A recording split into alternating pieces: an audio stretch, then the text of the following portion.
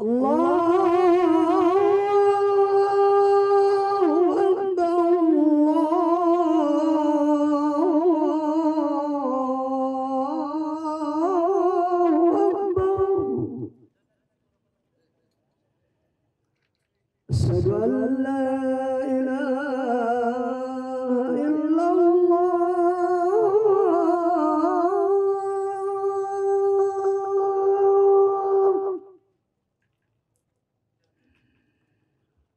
أشهد أن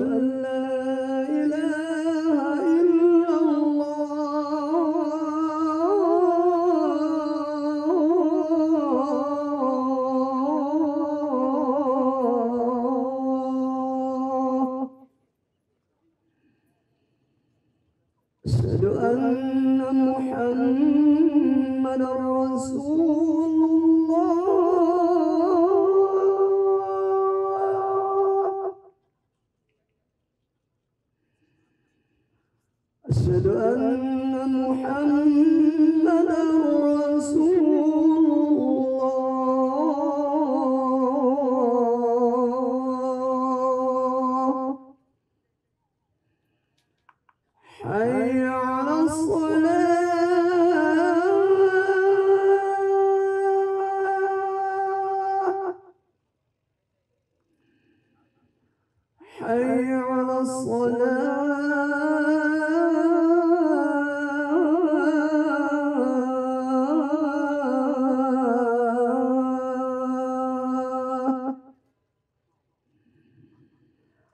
哎呀。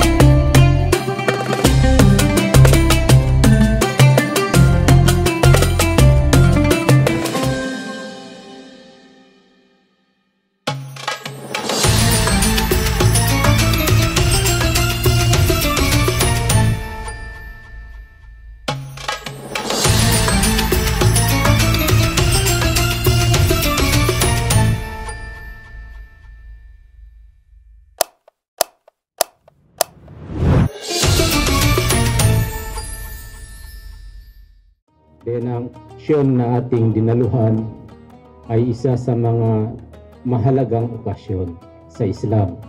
Ito po yung iftar. Pangalawa, hindi lang po iftar ang pinunta natin dito. Kung hindi, ang pangalan nga, title ng iftar is Interfaith Iftar. Ibig sabihin, ah, hindi lang para sa Muslim, kung hindi para sa lahat po sa Allah subhanahu wa ta'ala. Pangatlo, pasalamat sa Allah subhanahu wa ta'ala na ang City Government of Isabela ay nagkaroon ng ganitong programa para sa lahat. Nang sa ganun, inshallah subhanahu wa ta'ala, ito po ay maging sanhi ng malakas nating pagsasamahan sa isa't isa.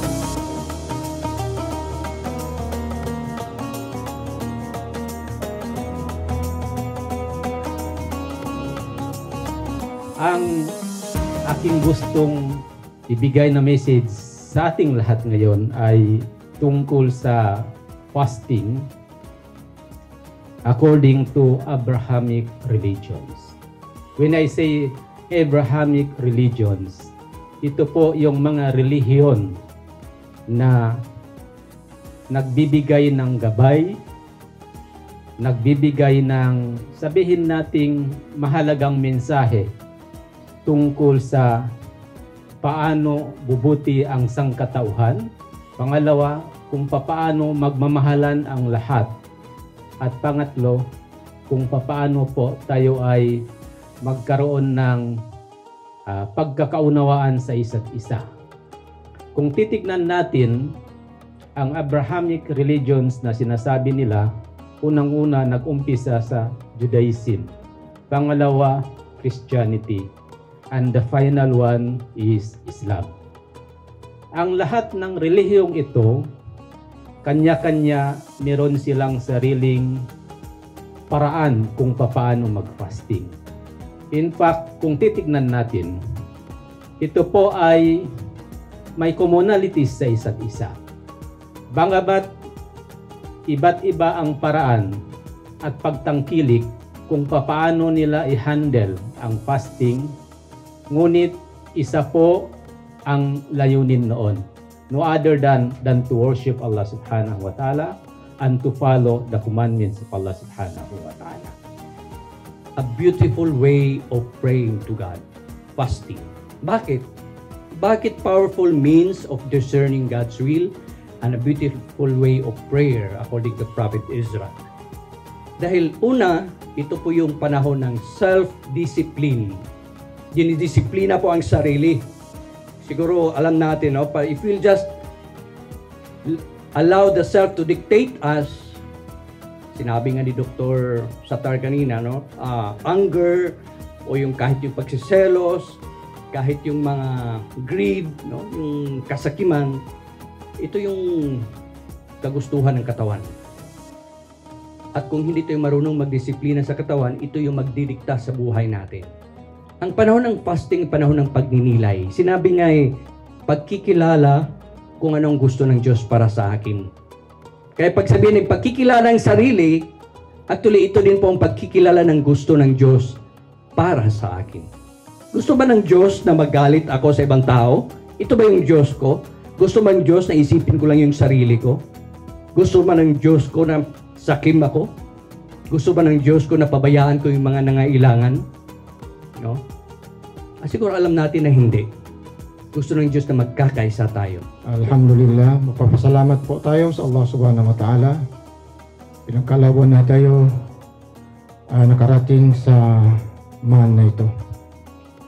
Ang mahal Ramadan, ito po ay isang panahon kung saan ay pinaulanan po tayo ng Allah subhanahu wa ta'ala ating tagapaglikha ang kanyang walang katapusang awa at pagpapala.